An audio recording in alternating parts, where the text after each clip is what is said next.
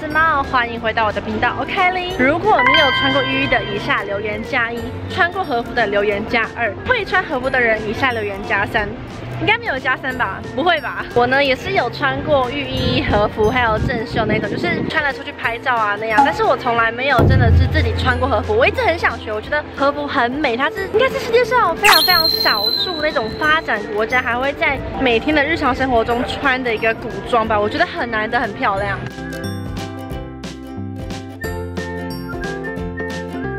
然后现在呢，我在自成县的水户车站，因为我在附近找到了一间就是和服教室，Kids K Q 对我今天呢就是要当一个一日的和服学生，然后等一下就要过去了。OK，那你们准备好跟我一起去学穿和服了吗？Let's go！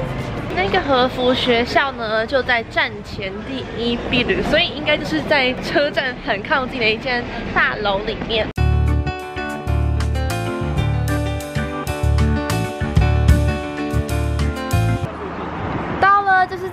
水户站前第一批的感觉，就不是那种很观光客母 K 的那种地方。连楼层也没有特别写，真的是很可能当地日本人会去的地方。就是这里，哈库比，すいません。こんにちは。 よろしくお願いします。哇，是这样子一个榻榻米的和服教室。他们是我今天的老师，Sanuki 先生。哎，私吉田です。吉田。还有吉田先生，よろしくお願い。はい、よろしくお願いいたします。哇，他们那个敬礼是敬很久的。私多分あの明るいのが早かったんですね。啊，そうです。四十五度。四十五度。好，那穿和服呢？应该有些人或许已经知道了，里面呢是只穿内裤跟内衣的。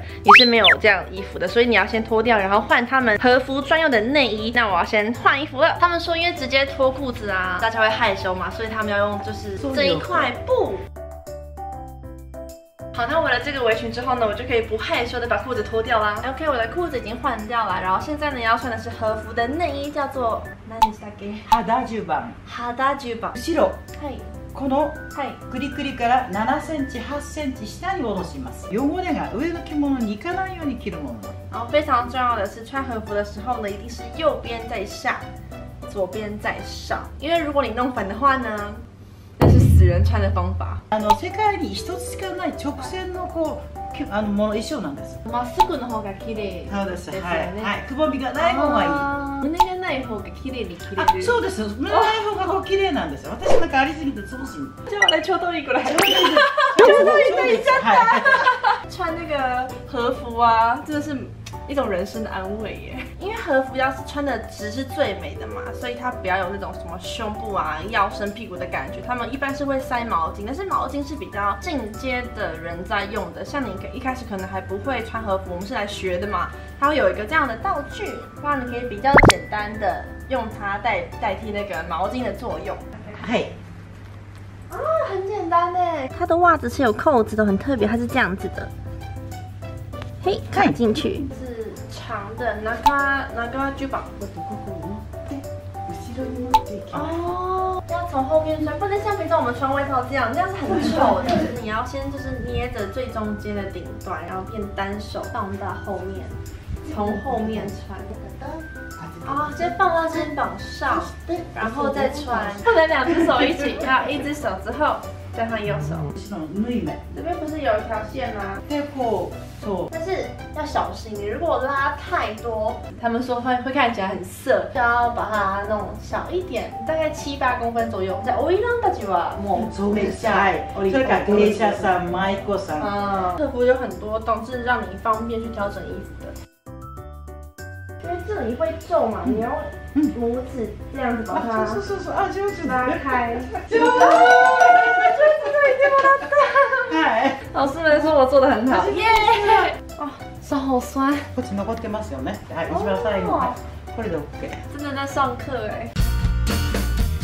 哎，我觉得赤城县的和服真的是比较传统一点，因为像京都很多观光客啊，所以你除了那一种比较和的花样之外，会有很多那种摩登啊那些设计感的，但是这边就是真的是很很传统的。 常是就是比较强的女生会选穿这样子的和服。还有另外一个场合很常见的呢，是那种大学的毕业典礼，他们会穿哈卡玛，就会选这种花色很多。那既然我也是很强的女生，所以我就选这一套吧。可惜让你喜欢。穿和服最重要的呢，就是对齐中心。そその間でいいです。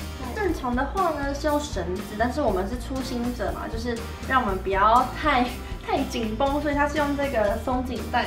耳朵下面的位置呢是这个外衣跟内衣要重叠的，大概这样。鼻のどこにあるかなって。はい。それと同じ高さのここのところはいつまんで。うん違う。これこれ触るとこれこれ。下一步呢就是要穿腰带啦。那腰带之前呢要先放这个，它是一块板子，为的就是要让你的腰带是整齐平整的。等一下呢，我会用这个腰带来穿我的和服，然后这个呢就是我纯粹练习了，因为等一下我一定是失败的，我还是会用回老老师的那个 set 哇，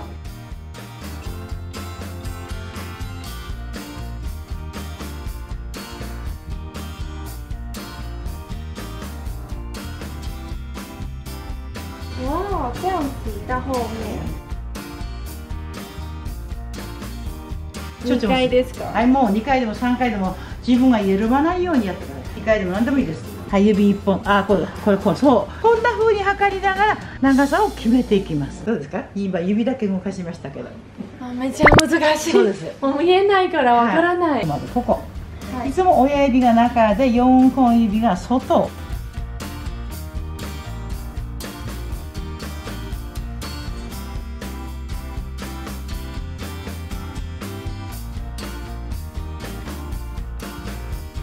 这个看这个。完成です。啊，完成了！